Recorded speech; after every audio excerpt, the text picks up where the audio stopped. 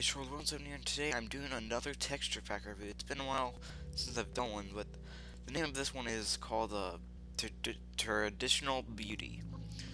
And it actually looks pretty cool, like, it just looks really good.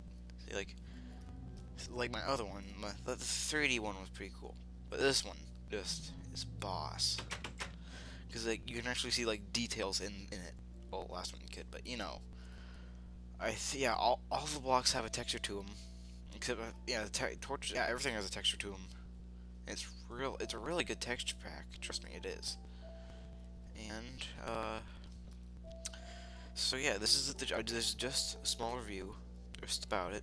And, uh, so yeah, everything looks a lot, a lot cooler in Minecraft than the default stuff, which, you know, that's how texture packs work. Uh, plans. So, oh yeah, if you guys like this awesome texture pack, you can guys get it for yourself, and and, and the, I'll put a link, in the description below for it. So yeah, if you guys like this video, you know what to do. Comment, like, and subscribe. It helped me out a lot. So, and I will see you all in the next video.